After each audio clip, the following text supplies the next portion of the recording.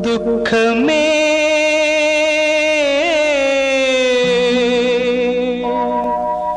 ദുഃഖമേ.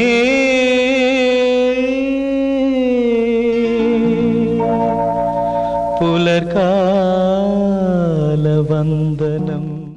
ഇന്ന് അന്തരിച്ച മലയാളത്തിലെ പ്രശസ്ത സംഗീതജ്ഞൻ എം കെ അർജുനൻ മാസ്റ്റർക്ക് ആദരാഞ്ജലി അർപ്പിച്ചുകൊണ്ടുള്ള പ്രത്യേക പരിപാടി. ഇന്നത്തെ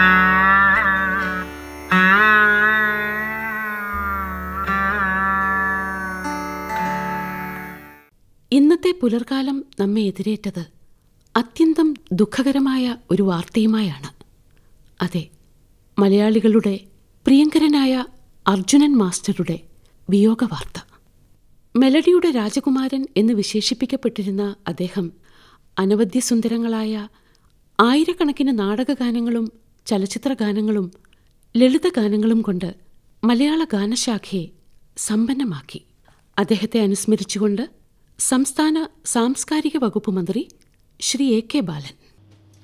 കേരളം എക്കാലവും ഓർക്കുന്ന നിത്യസുന്ദരമായ നിരവധി ഗാനങ്ങൾ സമ്മാനിച്ച സംഗീത പ്രതിഭയാണ് അർജുനൻ മാസ്റ്റർ. നമ്മുടെ സാംസ്കാരിക സമ്പത്തിലേക്ക് അദ്ദേഹം വലിയ സംഭാവനകൾ നൽകി. നാടകങ്ങൾക്ക് ഗാനമൊരുക്കിയാണ് അദ്ദേഹം രംഗപ്രവേശം ചെയ്തത്.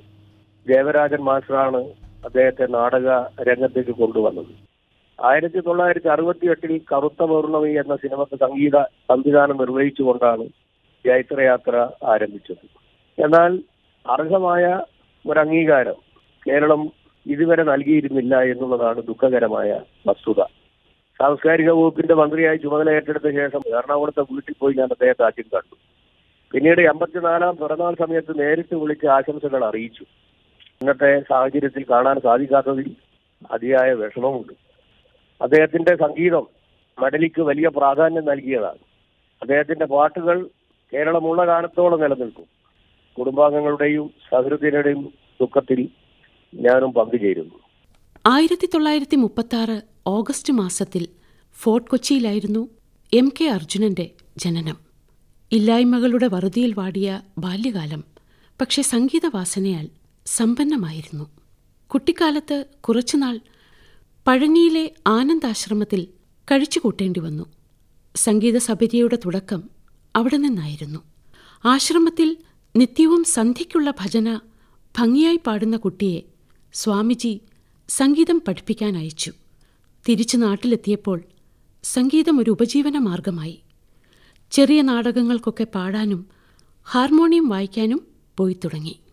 ആയിരത്തി തൊള്ളായിരത്തി അൻപത്തെട്ടിൽ കൊച്ചിയിലെ ഒരു അമച്വർ നാടകസമിതി അവതരിപ്പിച്ച പള്ളിക്കുറ്റം എന്ന നാടകത്തിലെ ഗാനങ്ങൾക്ക് അദ്ദേഹം ആദ്യമായി ഈണമൊരുക്കി.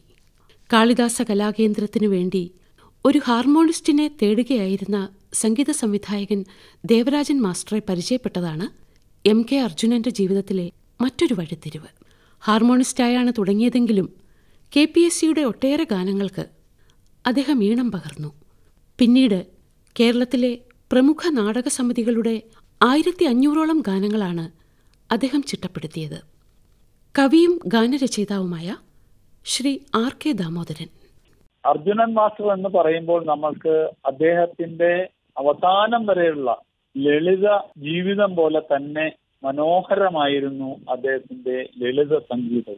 ആയിരത്തി തൊള്ളായിരത്തി എഴുപത്തി ഏഴിൽ എഴുതാൻ എനിക്ക് കഴിഞ്ഞ രാജു റഹീം എന്ന ചലച്ചിത്രത്തിലെ രവിവർമ്മ ചിത്രത്തിൽ എന്ന ഗാനം രഞ്ജിനി രാഗത്തിൽ മനോഹരമായി അദ്ദേഹം ചിത്രപ്പെടുത്താൻ തെരഞ്ഞെടുത്തപ്പോൾ ഭാസ്കരൻ മാസ്റ്ററും ഒ എൻ വിയും ശ്രീകുമാരൻ നമ്പി സാറും ഒക്കെ കൊടികുത്തി വാഴുന്ന കാലത്ത് ആദ്യമായി ചലച്ചിത്രത്തിൽ എഴുതാൻ പോകുന്ന ഒരു പയ്യനെ വേണമെങ്കിൽ അർജുനൻ മാസ്റ്ററുടെ അന്നത്തെ നിലയ്ക്ക് തിരസ്കരിക്കാമായിരുന്നു.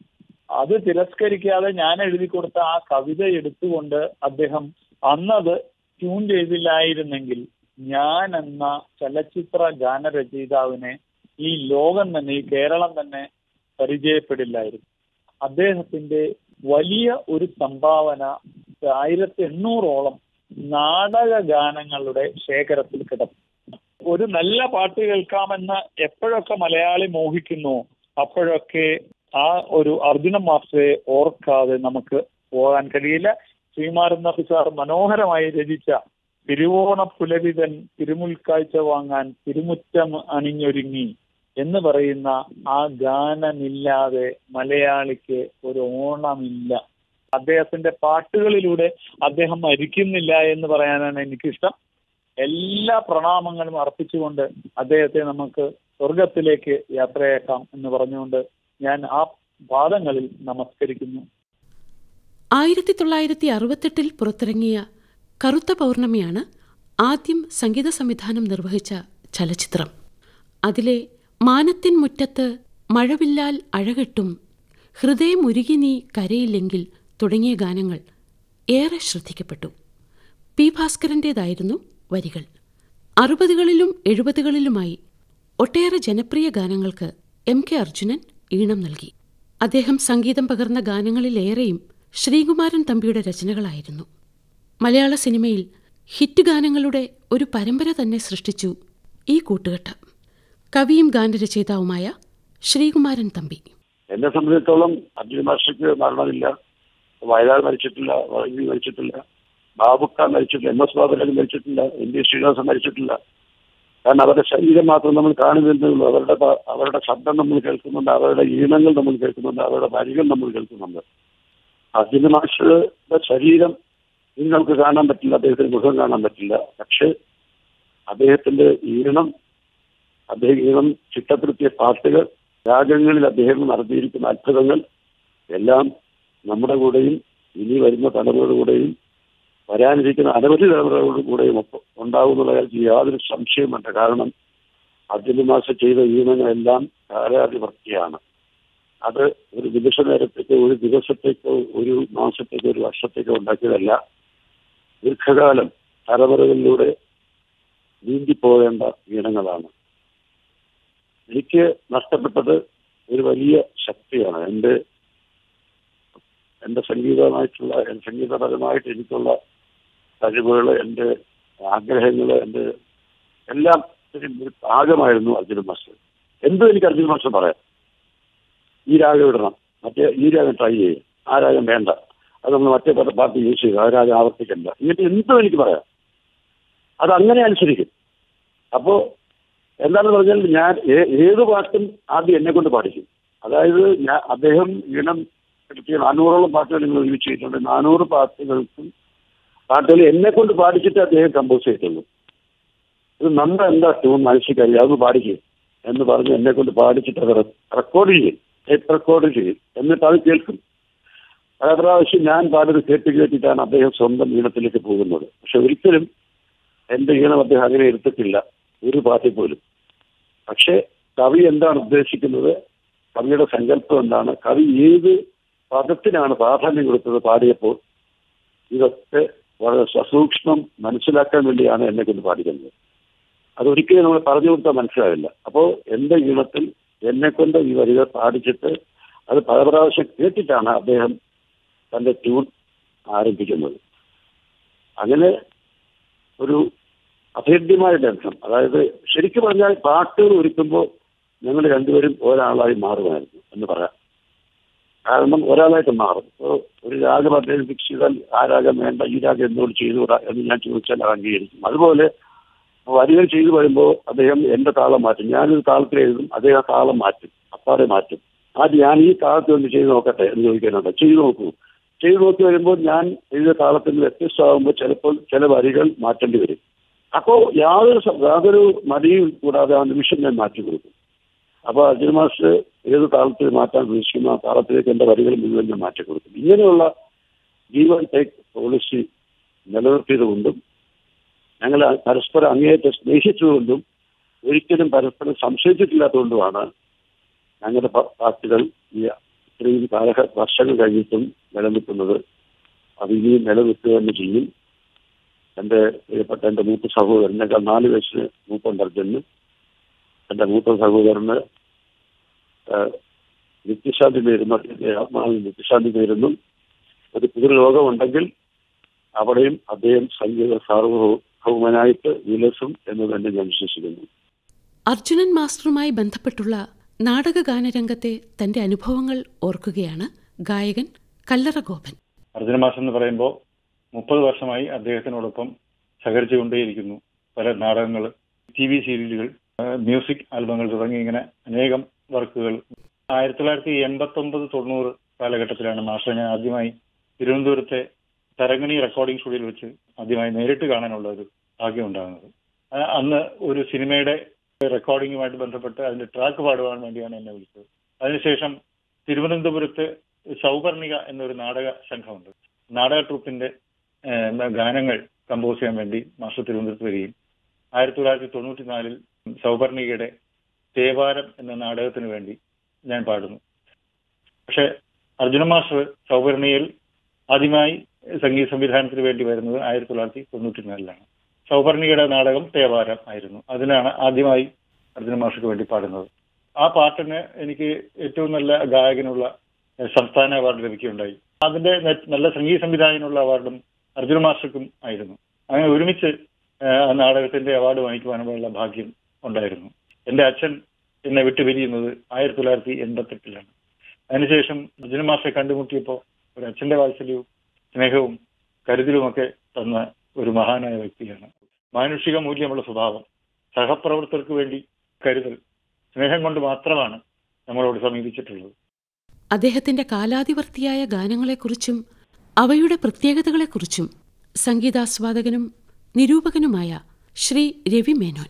അർജുന മാസ്റ്റർ മലയാള സിനിമാ സംഗീത രംഗത്ത് കടന്നു വരുമ്പോൾ നാല് പ്രഗത്ഭരായിട്ടുള്ള സംഗീത സംവിധായകരുടെ ഒരു മേധാവിത്വമായിരുന്നു ഇവിടെ. ദേവരാജൻ മാസ്റ്റർ ബാബുരാജ് രാഘവൻ ദക്ഷിണാമൂർത്തി. അവർ വളരെ പ്രതിഭാസപരമായിട്ടുള്ള സംഗീത സംവിധായകരാണ്.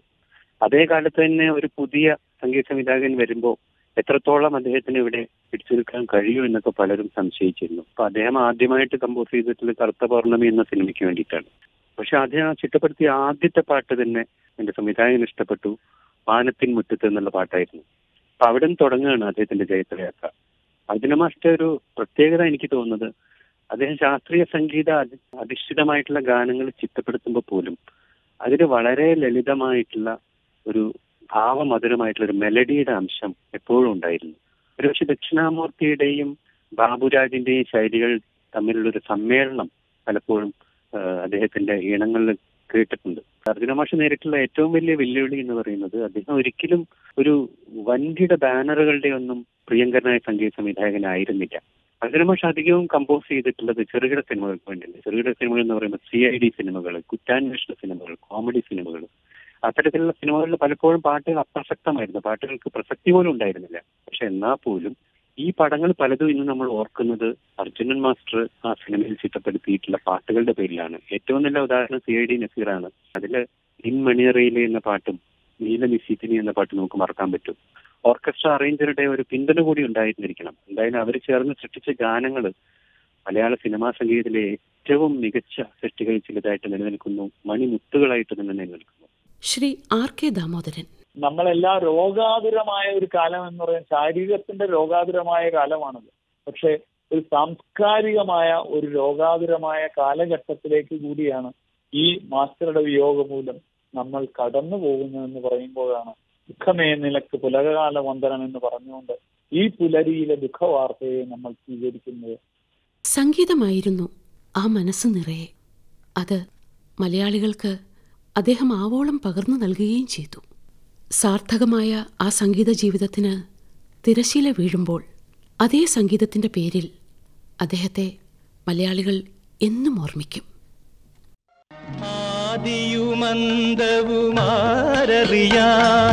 അവനിയിൽ ബന്ധങ്ങൾ എന്തു നേടാൻ? വിരകത്തിൽ തളരുന്ന മനുഷ്യപുത്ര വിധി എന്ന ശിശുവിന്റെ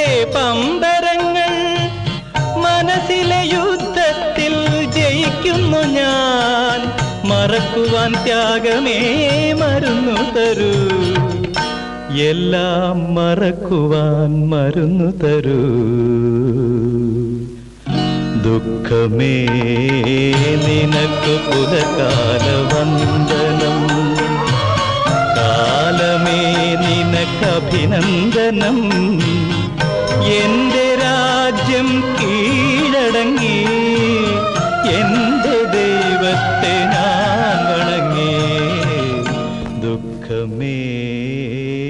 ദുഃഖമേ.